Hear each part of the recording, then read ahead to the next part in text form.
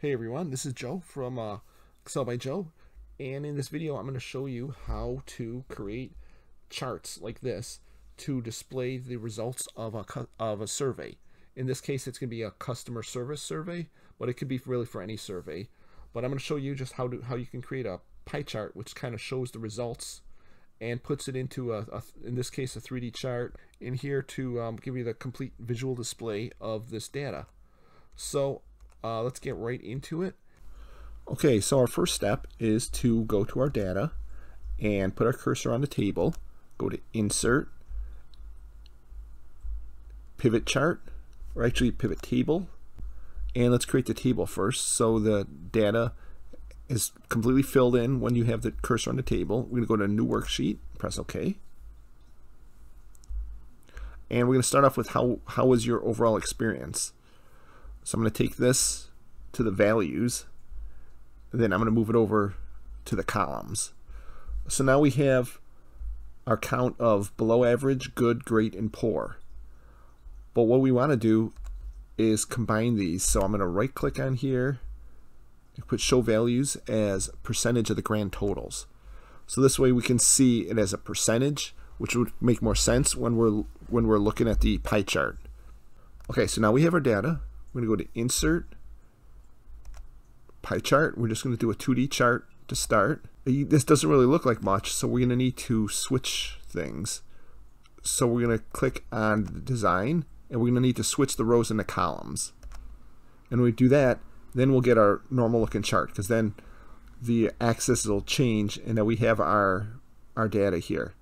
So we've got below average, good, great, and poor. So let's format this table how, how we want to, to make it to make it look uh, a little more presentable. So first, I'm gonna right I want to get rid of this. So I'm gonna click on it, right click, go to hide it. Here, I'm gonna click on this also and hide that name. And I want to get rid of the legend right here too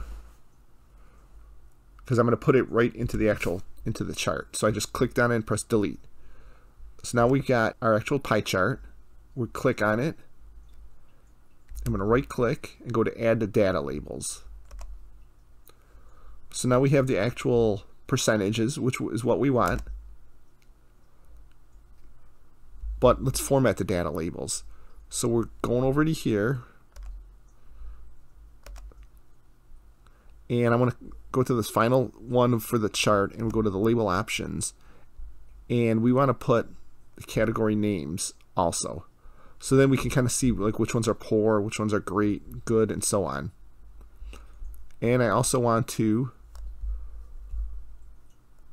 format these a little bit. So I'm just gonna go up to home and make them bold and just make them slightly bigger I'm going to change the, the chart description here.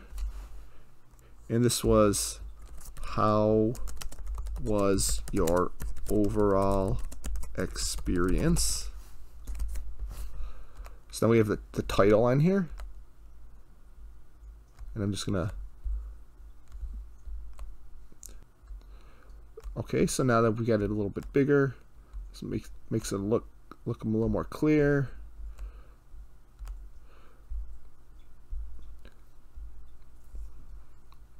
And now we can change the type to make it um, make it look more 3D so we'll go up to the design and change chart type. And we're gonna go to pie chart. And let's make it look 3D so we'll just click the 3D one click OK. And then once we have it let's let's look through these ones up here to kind of get the one that we want.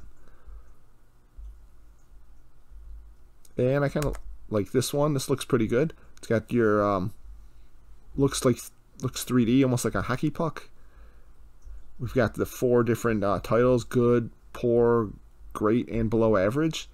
So it's a pretty good way to summarize all our data.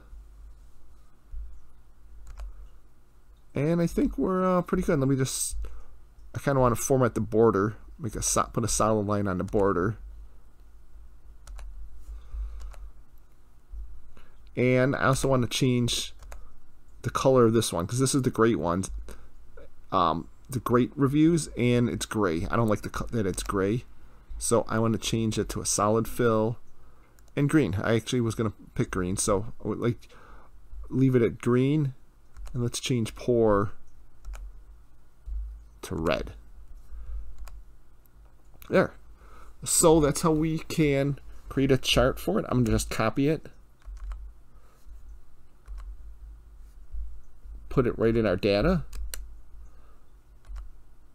There, and we've got our first chart. And I'm not going to go through how to how to make the chart for the other ones because it's the exact same way.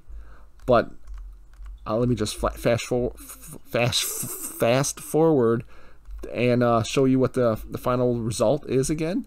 And you can just see how you can uh, do a chart like this pretty quickly and uh, get a nice looking uh, pie chart to show your results of your survey. And here's the uh, final result of the three charts all set and ready to go and displaying your uh, information that you want. So uh hope this video was helpful and i will see you guys in the next video. Please click a thumbs up and like the video and uh, subscribe to the channel. Thanks